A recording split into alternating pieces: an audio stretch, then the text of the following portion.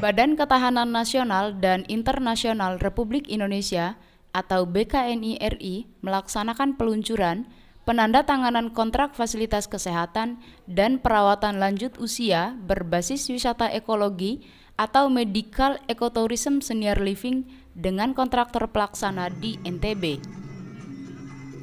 Kegiatan ini digelar di Hotel Mutmainah Kota Bima, Nusa Tenggara Barat, Kamis siang. Penandatanganan nota kesepahaman oleh BKNI Republik Indonesia meliputi fasilitas kesehatan dan perawatan lanjutan usia lanjut berbasis wisata ekologi empat lokasi yang tersebar di Kabupaten Sumbawa Barat, Kabupaten Dompu, dan Kabupaten Bima. Kegiatan ini dihadiri Kepala Presidium BKNI Republik Indonesia Raden Mastri Harsono, Korwil BKNI Provinsi NTB, Aan Saputra, Kepala Dinas Pariwisata Kabupaten Bima, staf ahli Setda Kota Bima, Kasdim Bima dan Kapolres Bima yang diwakili Kasat Lantas. Dalam sambutannya, Presidium BKNI Republik Indonesia menyampaikan, hingga hari ini bangsa Indonesia menghadapi COVID-19, sehingga dengan hadirnya program dari BKNI dapat memberikan solusi untuk mengembalikan perekonomian masyarakat dan peningkatan pendapatan asli daerah. Pihaknya berharap program ini dapat didukung oleh semua pihak, karena program yang dilaksanakan bukan program main-main, namun program mitra seluruh kawasan di Indonesia. Pembangunan fasilitas kesehatan lansia berbasiskan wisata ekologi manfaatnya besar karena juga menyerap tenaga kerja sehingga mampu membuka lapangan kerja bagi masyarakat. Kepala Presidium BKNI Republik Indonesia juga menyampaikan, saat ini pihaknya sedang melakukan proses pembayaran lahan 50 objek pembangunan rumah sakit lansia di seluruh Indonesia.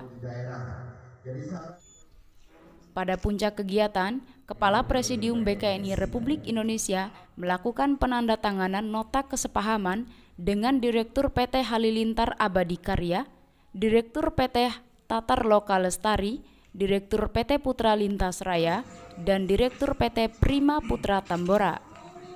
Wilayah Kabupaten ini tentunya adalah penanganan para lansia khusus untuk uh, kesehatan juga untuk uh, kesejahteraan masyarakat lokal dan tentunya dengan adanya pembangunan lansia yang akan ditempatkan di wilayah yang tadi kita tunjuk tentunya akan membawa atau menguatkan kepada pemerintah setempat sebagai penyangga kekuatan dari bidang ketahanan, keamanan, eh, kearifan lokalnya, kesejahteraan masyarakat lokal pun akan terangkat karena dengan pengurangan penyerapan tenaga kerja yang di wilayah masing-masing. Anggaran kita tidak menggunakan anggaran negara. Yeah. Jadi Badan Ketahanan Nasional sebagai badan penyangga negara tentunya kita harus mandiri.